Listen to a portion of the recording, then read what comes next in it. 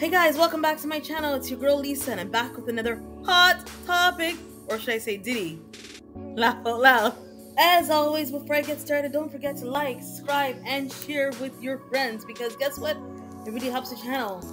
When I get to 1,000 subscribers, I'm going to be giving away a random subscriber giveaway. So please subscribe and help me get to 1,000 so you too can be included in the massive 1,000 subscriber giveaway. Okay, let's get into this. So Mr. Diddy, aka Puff Daddy, aka Sean Combs, aka Love is scared to eat. Mm-hmm. You heard it. Apparently, despite having access to $160 commissary, he is refusing to eat. Apparently, he's scared that he'll be poisoned, so he's refusing to eat. So because Diddy is refusing to eat, he's also on SA watch. But Diddy's lawyers have made it clear that Diddy isn't S. He's just scared to eat because he feels he might be poisoned. Diddy's fears may be warranted too. If y'all remember Epstein, he was the same he was in the same prison awaiting trial when he was so-called committed as to himself. And his brother has gone over social media saying he doesn't believe that his brother actually did that to himself.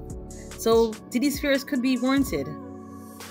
So, if you're not familiar with the Epstein case, he was in prison awaiting charges on SA trafficking and other charges, but he was friends with numerous celebrities that he supposedly had info on.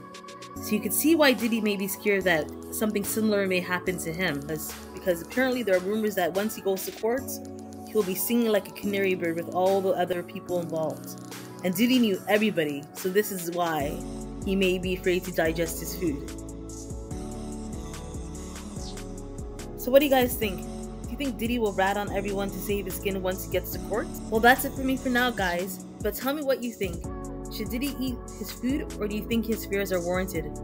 Please like, subscribe, comment, and share and let me know what you think.